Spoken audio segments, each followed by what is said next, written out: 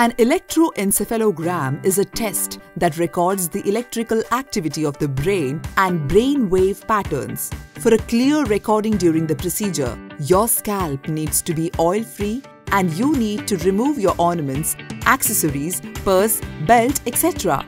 The technologist places electrodes on your head and chest after cleaning the area with gel. The doctor might administer mild sedatives if necessary.